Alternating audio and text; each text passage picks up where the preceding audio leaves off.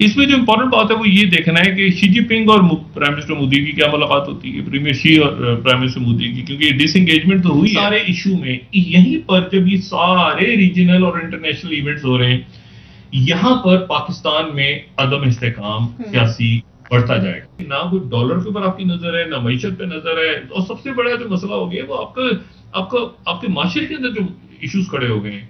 लेकिन मसला ये है सारा कि इससे मुल्क रुका हुआ है। मैं, मेरा जो कंसर्न बार बार है कि वो मुल्क रुका हुआ है और खास तौर पे जो आपके रीजनल इश्यूज़ हैं और आपके जो सिक्योरिटी के मामला हैं और आपकी जो इकोनॉमी है और आपने जो बड़े फैसले करने हैं, जो मैं बार बार जिस तरफ़ इस्लामिक रियासत पाकिस्तान, पासपोर्ट आपका हरा है, इस्लामी जमहूरिया पाकिस्तान, दुनिया भर से भीख मांगने में हम इस वक्त लगे हुए हैं। दुनिया भर से हम भीख मांगने में लगे हुए आज ये तैयार आ गया वो तैयार आ गया। नहीं होता हम हर कंट्री का जो कैश है वो एक्सेप्ट करते हैं। आप डॉलर में दे दीजिए आप किसी और करेंसी में हमें दे दीजिए जो मर्ज़ी दे दीजिए। यहाँ सैलाब मुतासरी में अमवाद का सिलसिला जारी है। बीमारियाँ तो दोस्तों, आपने ये छोटा सा क्लिप देखा, आप समझ सकते हो कि पाकिस्तानी मीडिया में डॉक्टर शाहिद मशहूद भारत को लेकर काफ़ी कवरेज करते हैं।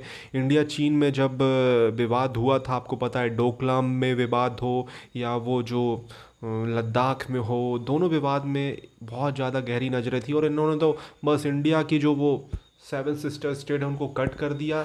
यहाँ से इन्होंने बोला, लद्दाख पूरा चला गया। चीन की बॉर्डर सीधे यूपी से मिल गई। इस तरीके के वर्ड यूज़ किए हैं पास्ट में डॉक्टर शाहिद मसूद ने। अब देखो इसको हो चुका इसका चेहरा देखो। डिसएंगेजमेंट हो चुकी है। अब इस तरीके की ये बातें कर रहा है बंदा। तो आप समझ सकते हो यार इन, ये इनका क्या, इनका दिमाग है, क्या नहीं है। हालाँकि बात हो रही है एस समिट की। एस समिट के बारे में वीडियो के लास्ट बताऊँगा। भारत के प्राइम मिनिस्टर मोदी, चीनी राष्ट्रपति जिनपिंग की मुलाकात हो सकती है। पहले पूरा वीडियो देखते हैं। वीडियो देखने के बाद अगर आपको ये पसंद आता है तो प्लीज़ चैनल को सब्सक्राइब करिए। यहाँ पर पाकिस्तान में अदम इस्तेकाम हम्म। सियासी बढ़ता जाएगा। ना कोई डॉलर के ऊपर आपकी नज़र है ना मीशत पे नज़र है और सबसे बड़ा जो मसला हो गया वो आपका आपका आपके माशरे के अंदर जो इश्यूज़ खड़े हो गए हैं। लेकिन मसला ये है सारा कि इससे मुल्क रुका हुआ है। मैं मेरा जो कंसर्न बार बार है कि वो मुल्क रुका हुआ है और ख़ास तौर पे जो आपके रीजनल इश्यूज़ हैं और आपके जो सिक्योरिटी के मामला हैं और आपकी जो इकोनॉमी है और आपने जो बड़े फैसले करने हैं जो मैं बार बार जिस तरफ़ इशारा कर रहा होता हूँ कि ये अब देखें आपके नए ब्लॉक्स जन्म ले रहे हैं आपने ऑयल कैसे लेना है गंदम कैसे कहाँ से आएगी गैस के कहाँ से होंगे मामला आपके तय कैसे आपने अपनी नेक्स्ट जनरेशन तो ये जो सारी चीज़ें ये तो चली गई हैं सारी साइड पे जी। और कितनी बड़ी बदकिस्मती है कि आप कोविड से निकल के आने के बाद आप एक पॉलिटिकल टर्मोइल में चला गया मुल्क हम्म। नहीं हम कुछ नहीं चाहते। हम इसमें से कोई बात नहीं चाहते। हम सिर्फ़ अयाशी की ज़िंदगी चाहते हैं। हम चाहते हैं कभी हमें अमेरिका पैसे दे दे कभी हमें कोई दूसरी कंट्री पैसे दे दे। और आजकल क्योंकि भारत के यहाँ भी बड़ा भारत में भी बड़ा एक शोर मचा हुआ है कि जी फिफ्थ इकोनॉमी उनकी पहुँच गई है फिफ्थ नंबर पे। तो हम चाह रहे हैं थोड़े बहुत वहाँ से भी आ जाए हमें काम ना करना पड़े। हमें कोई मेहनत ना करनी पड़े और उसके बाद वो पैसा हमें इधर उधर से मिल जाए और हमारे लिए आसानी भी पैदा हो जाती है। कभी फ्लड आ जाता है, कभी अर्थ कोई आ जाता है, कभी कोविड आ जाता है, कुछ ना कुछ चलता रहता है। सेवेंटी फाइव ईयर्स हो गए, हमने कोई ऐसा काम नहीं किया। यानी पहले जो हमारे रोड्स थी या बिल्डिंग्स थी, वो अंग्रेज़ बना के चले गए थे। उसके बाद उनकी मेंटेनेंस जो है वो चाइनीज़ कर देते थे। या अमेरिकन आ जाते थे उसमें कुछ और सही करने के लिए। हमने, हम वो कौमें जैसे ऊपर वाले ने मेहनत से बचा के रखा है। हम कोई काम नहीं करते। हम सिर्फ़ लोगों को चूना लगाते हैं, लोगों को टोपी पहनाते हैं, टोपी ड्रामा करते हैं, इसके अलावा हम कुछ नहीं करते। तो अभी भी हम वही कर रहे हैं और आगे भी हम वही कुछ करते रहेंगे। और चाहे वो हमारे पॉलिटिशियंस हो या कोई भी हो, हमने और कुछ सीखा ही नहीं है, ना ही हमारे कोई हमें कोई शौक है काम करने का कि हम निकले और हम अपने खुद अपनी इंडस्ट्रीज़ हमारी चले हमारे यहाँ से कोई सामान तैयार हो जिसकी दुनिया को ज़रूरत हो। एक वो बस फुटबॉल हमने बना लिए और हम सोच रहे हैं कि बस ये फुटबॉल लेके हम पूरी दुनिया में घूमते रहेंगे इसके अलावा कुछ नहीं होगा। जमीनें हमने खत्म कर दी हैं जहाँ पे आ, कहना चाहिए कि कोई फ़सल लग सके जहाँ पे हम अनाज उगा सकें वो हमने सब हाउसिंग स्कीम्स बना दी हैं। और मलिक रियाज और इस तरह के लोगों को हमने दे दिया है। तो ऑब्वियसली हमें उसकी भी बल्कि अब तो मौलाना तारिक जमील के बेटे ने भी जो है वो एक हाउसिंग स्कीम का अनाउंसमेंट कर दिया है और मौलाना साहब उसका भी ओपनिंग के लिए जा रहे थे मुबारकबाद को।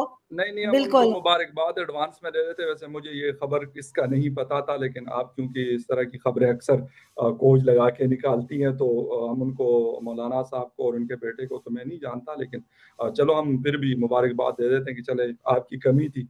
तो वेलकम आपको भी करेंगे। तो उन्होंने बहरहाल चले वो भी एक एक तरह से जमीनों के ऊपर वही तमाशा शुरू करेंगे जो हमेशा से होता तो है लैंड ग्रैबिंग होता हाँ। तो एग्जैक्टली वही है अगर वो ना हो तो फिर इस काम में पैसा भी नहीं है सीरियसली अगर आप साफ़ सुथरा काम करेंगे तो इसमें हाँ। मेहनत ज़्यादा और पैसा उस तरह अर्निंग आप नहीं कर सकते जिस तरह ये लोग मतलब पाँच पाँच छह छह साल के बाद इनके पास और और हमारे यहाँ तो हमारे यहाँ तो फखर जो कहा जाता है रियासत मदीना खैर इमरान खान का दावा था लेकिन उससे पहले भी जितनी गवर्नमेंट्स आई हैं सब जो है वो रिलीजन का नाम लेके चलती रही तो हमारे यहाँ तो ये भी हो चुका है कि ताज कंपनी जो कुरान हाँ। छापा करती थी वो लोगों के पैसे खा के भाग गए थे और लोगों को कई मेरे अपने जान पहचान के लोग तो बेचारों को हार्ट अटैक हो गया किसी कोई बिल्कुल ही बेचारे की हाँ, हालत खराब हो गई लोगों की।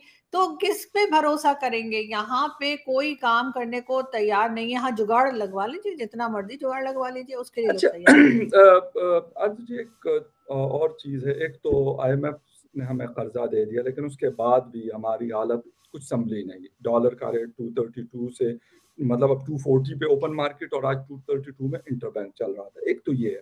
फिर एक वीडियो हमें नज़र आई बलूचिस्तान के अंदर अभी किसी ने कमेंट भी किया कि जी, वो टमाटर ईरान से आए थे तो लोग, लोगों ने उसको शिया और सुनी मतलब इस तरह की चीज़ें। मतलब अफसोस मुझे इसलिए होता है कि हम तो वैसे दुनिया मतलब चाइना से पता नहीं क्या कुछ आता है पाकिस्तान में फ्रूट्स आते हैं मुख्तलिफ़ किस्म के और सब्ज़ियाँ आती हैं मुख्तलिफ़ किस्म की। उसके ऊपर हमने कुछ नहीं किया, लेकिन ईरान से अगर टमाटर आता है बेशक उनका जो भी, जिसको भी फॉलो करते हैं, हमारा इससे क्या लेना देना एक बात कर रहा हूँ।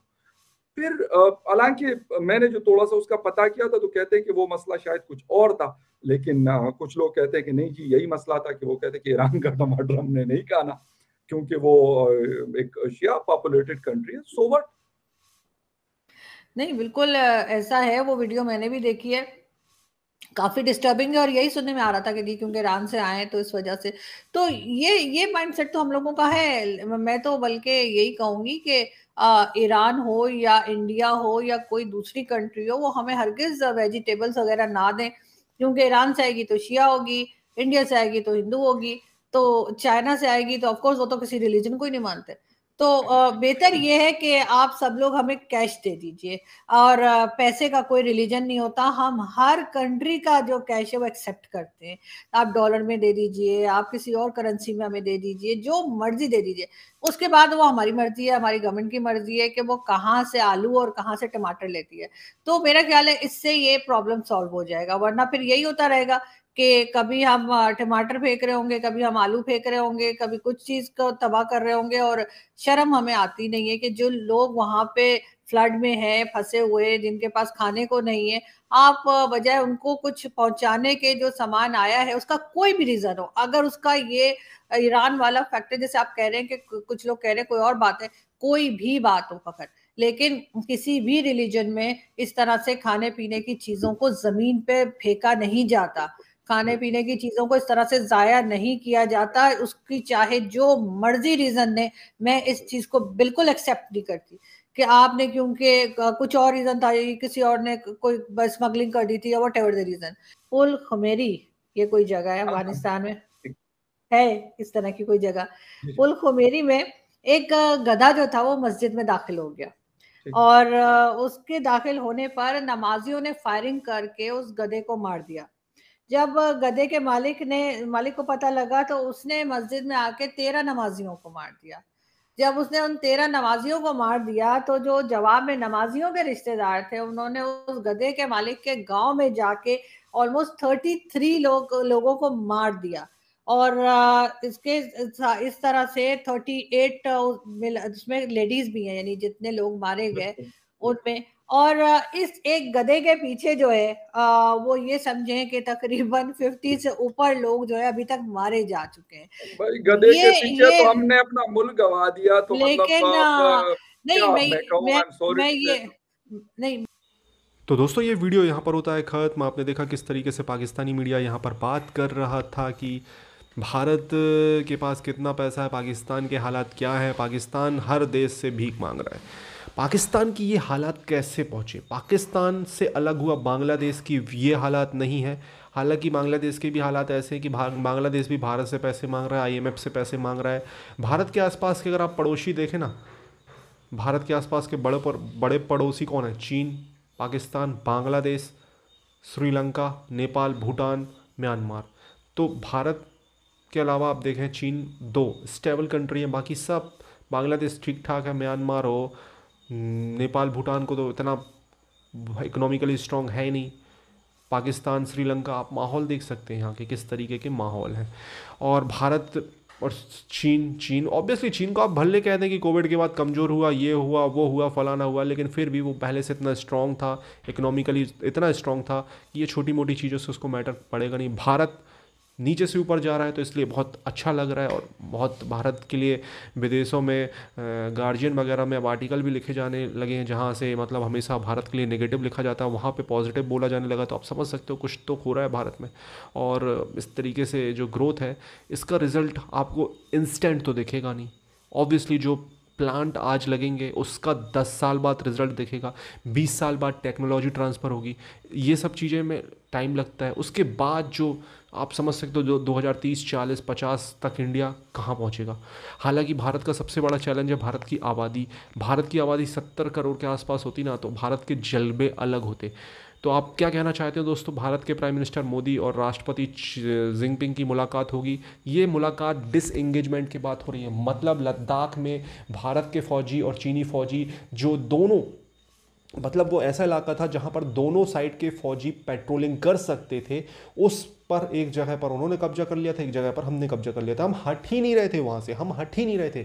चीन धौस दिखाकर अपने हथियारों के दम पर सोच रहा था कि भारत हट जाएगा, नहीं हटे।